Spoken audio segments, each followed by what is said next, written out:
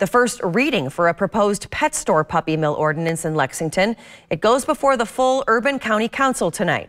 The ban, if passed, would stop the sale of dogs and cats from puppy mills at pet stores in Lexington.